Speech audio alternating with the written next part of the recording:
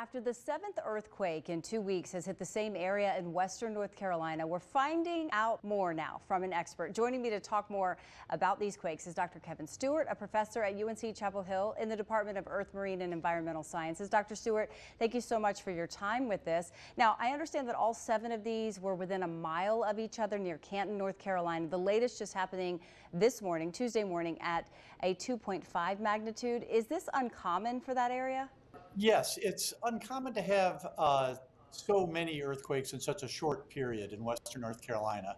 We certainly have small earthquakes in our mountains, uh, but to have a, a little swarm like we're now having near Canton is somewhat unusual. It's not a major fault line, correct? So what's behind these earthquakes? That's correct. There is not a major fault line, certainly that we know of. And the presence of earthquakes means that the Earth's crust is relieving stress in some way so that there are probably at least some little faults below the surface that are slipping, that are creating these earthquakes. But in many cases, when we get swarms like this, we really don't know for sure what the root cause is. It's certainly possible that we're going to feel more of these sort of small magnitude 2 and magnitude 3 earthquakes in the area. Larger earthquakes are rare. These swarms can go on for weeks in some cases and then just stop you for begin no tonight with what the. National Weather Service is calling a particularly dangerous situation across several states.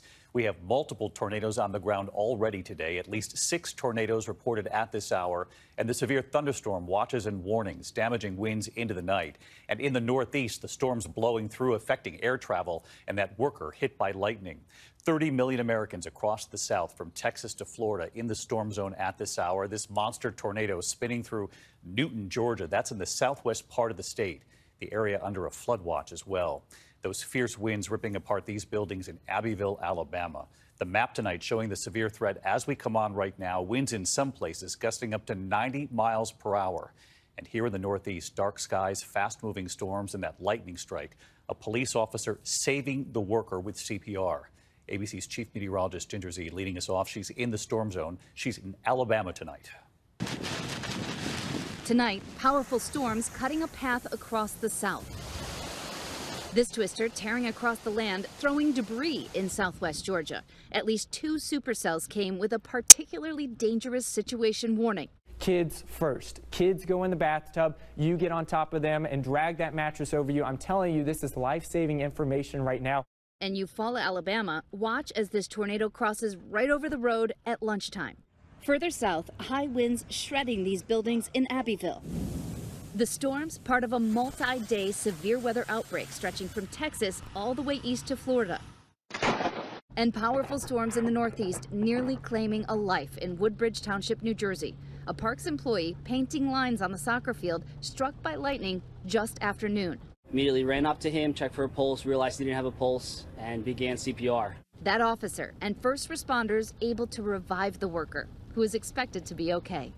That is encouraging news. Great work from our first responders. Let's get right to Ginger. Ginger, we weren't sure if we'd have you live tonight because the storms I know were just blowing through. So we're glad you and the team are, are safe and ready to go for us. So take us through the night ahead. What are you most concerned about? Yeah, we had to come under an awning here because there have been perpetual severe thunderstorm warnings after homes in this very town were damaged by a likely tornado. These warnings and watches go all the way back through Mississippi and beyond. These storms have been training, and even stronger storms are right now in Montgomery headed right here. So, David, that particularly dangerous situation, severe thunderstorm watch, which is in central Mississippi, that's until 8 p.m. But you see those tornado watches still in South Georgia, over to even North Florida. This is a long night ahead especially when it comes to the three to five inches of rain that will fall really quickly. Tomorrow morning, we'll see it move into the panhandle. Mobile will be in the damaging wind threat. There's another threat that goes Garden City, Oklahoma City. This is super rare for this time of year in this part of the country for the subtropical jet stream to be this active. Underneath it, huge heat dome that has been prolonged and dangerous. It'll take heat indices in parts of Texas, David, up to 118 through the weekend. Those are incredible temperatures already this season. Ginger Zee in the storm zone. We can hear the thunder off in the distance. Please stay safe, Ginger. Thank you.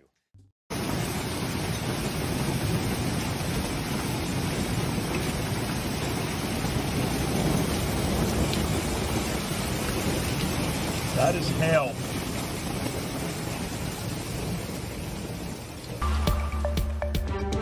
How about this tonight? A city in Nevada is dealing with an infestation that some are calling biblical. Millions of migrating Mormon crickets. They're covering homes and roads in the city of Elko. The flightless insects have been swarming there for nearly two weeks now. When we looked out here, it, the whole wall was just covered. That really, really, really freaked me out. You can see that they're moving and crawling, and the whole road's crawling, and it just makes your skin crawl. It's just so gross. In case you're wondering, Mormon cricket infestations happen frequently in western North America, but are noticed most in high population areas. There's not much residents can do now, but wait for them to go away. Famine A is new report coming. from the United Nations says more than 258 million people faced food insecurity last year. That's a 34% increase from 2021. Yeah, staggering jump there. Now, while some of that increase may be attributed to the UN analyzing more nations, the Secretary General of the UN says, quote, we're moving in the wrong direction, pointing to the fact that this is the fourth consecutive year that those rates have increased. Well, joining us now in Studio 57 is David Beasley. This is his first interview since recently stepping down as head of the United Nations World Food Program. And David, together with the agency, is also a recipient of the Nobel Prize. David, so great to have you here Yeah. and for the work that you've, you've done. Um, I think a lot of people are surprised that after years uh, with this problem of food insecurity getting better, that it is doing so poorly now.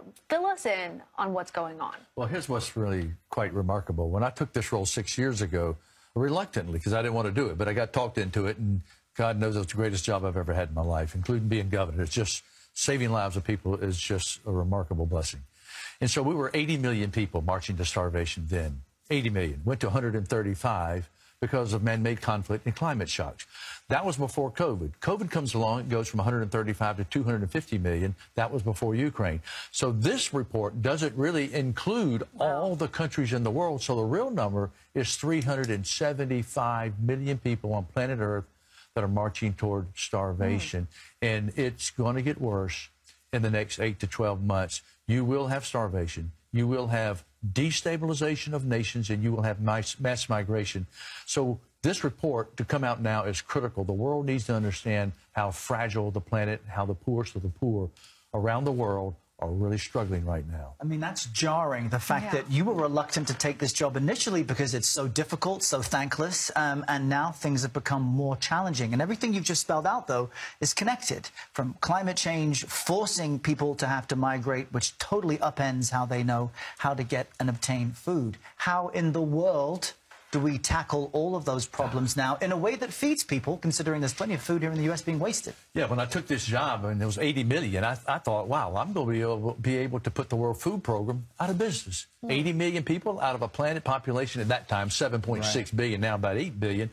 And so I went to the United States government. We got the Republicans and the Democrats, while they fight on everything, they came together on food security. I called it the miracle on Pennsylvania Avenue and appropriated the funding. And the reason we didn't have mass migration, we didn't have destabilization of nations, and didn't have uh, starvation and famine was because the United States, the taxpayers responded with their senators and congressmen. We got the money we needed. But right now, we're in a crisis mode.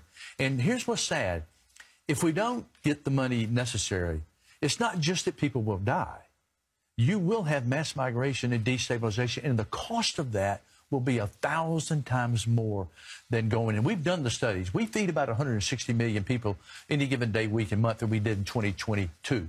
We know what happens. It costs us, for example, 50 cents to feed a Syrian in Syria. That Syrian who doesn't want to leave home, we study, we do that, we do it. They don't want to leave home. They don't have food. They got to do what any mom and dad would do. They end up in Berlin, $70 a day. From 50 cents. 50 cents to To $70. $70. That's just on the humanitarian cost side. That doesn't even get into conflict, security, and all these other Well, issues. You mentioned conflict, and Ukraine is one of the world's leading exporters of grain.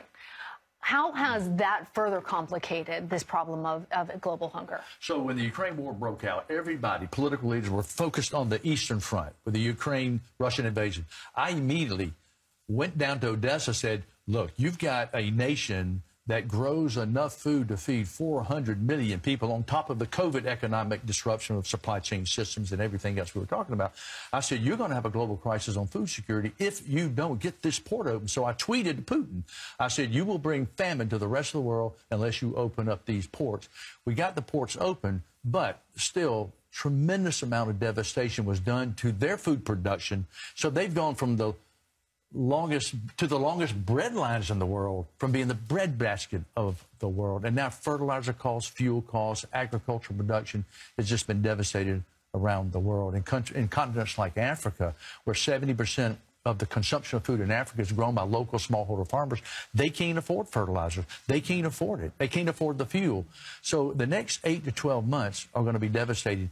In Central South America, the number of people we're looking at migrating toward the United States now, our surveys show that five times the number of people are now talking about migrating because they don't have food security. all connected. Oh, David Beasley, thank you so much for joining us and for sounding that alarm and for the work that you No, do. thank you. Thank you, David. Thank you.